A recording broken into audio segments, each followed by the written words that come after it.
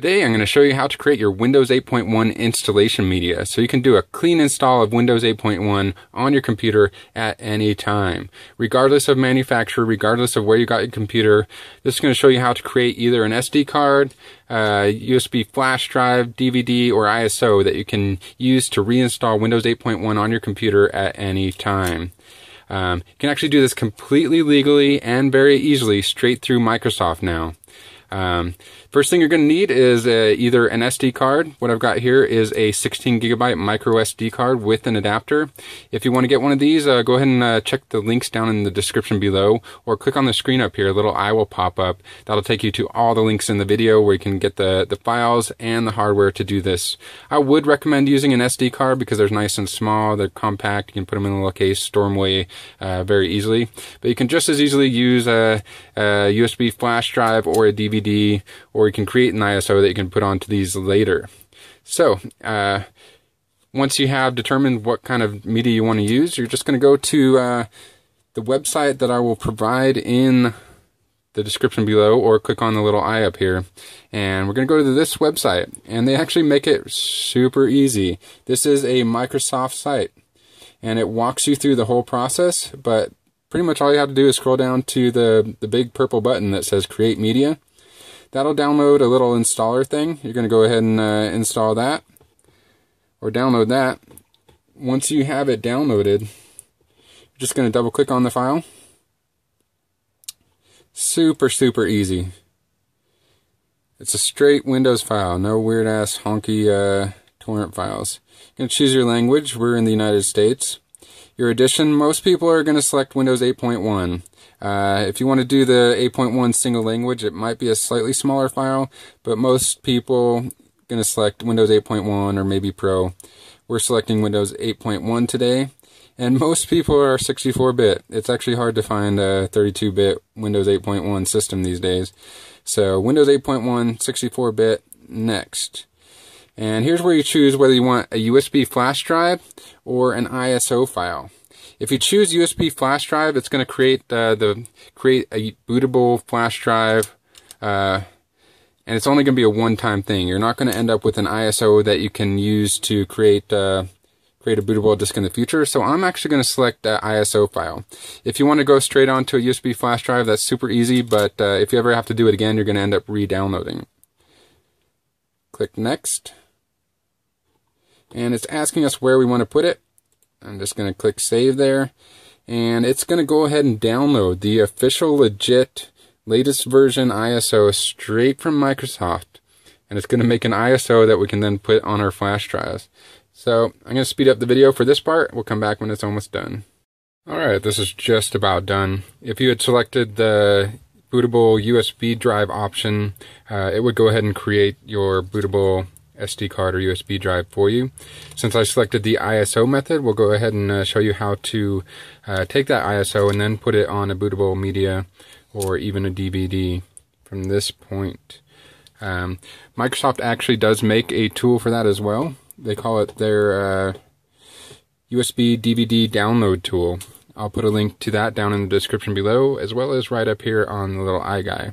Um, just go ahead and go to the site, click download, download that file. Once you have that open, go ahead and uh, double click on that and it does install. You could also use any number of applications for this. There's Rufus, there's all kinds of uh, non-installer based uh, bootable CD creators. Anything you want to use, you can use it. I'm just using this for the video because it is officially sanctioned by Microsoft. Once that's installed, you should end up with a uh, close some of this stuff here. Should end up with an icon on the desktop like this. Click yes. And it's pretty simple. All you're going to do is uh, point it to where you uh, where you save the file and just checked the download. So let's go ahead and let it finish its process here.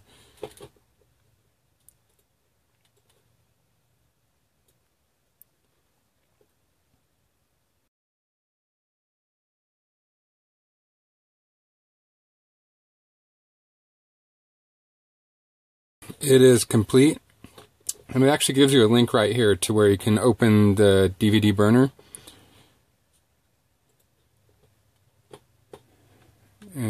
Uh, I don't have a DVD burner installed, so the link appears to be broken on this particular computer. But you can use uh, WinISO, you can use ImgBurn, you can use alcohol. You can take this ISO and burn it using any standard image burning program. But I'm going to show you how to burn it or make a bootable SD card or USB drive. So on the Microsoft Windows 7, it actually calls it the Windows 7 USB DVD download tool. Don't worry about that. All it's doing is creating bootable media. So you open that, click browse. We're going to go to our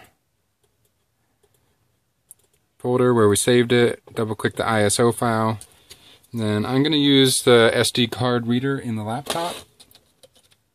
You could just as easily use a micro USB reader. You could use a um, any kind of uh, card reader to install that. Click next, USB device, and we're going to select uh, this SD card.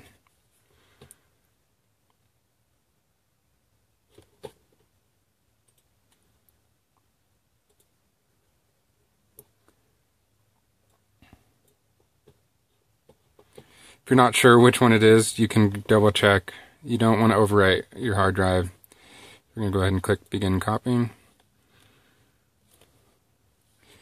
Prompt you to erase it.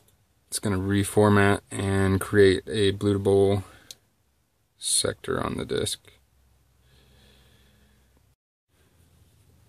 Alright, it's almost done here. While that's copying, you can get uh, whatever case you're your disk came in, And go ahead and research uh, for your particular model how you enter the boot menu or the BIOS. Uh, on this particular Asus laptop and a lot of other Asus laptops, it's hitting escape key. Uh, so right when you turn it on, you hit the escape key. It'll bring you up to the boot menu. On some computers, it'll be delete key, F2, F9. Um, it can be any number of keys. So research that for your computer and go ahead and write it on the case for the install media so that when you actually have to go to use it, um, it's right there and ready for you to pop in, press whatever key you need to, and boot right from the disk.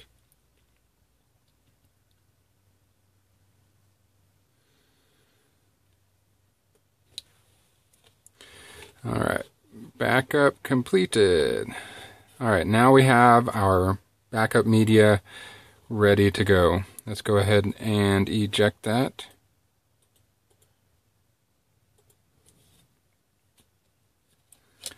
So there it is. That's our Windows 8.1 installation media ready to go.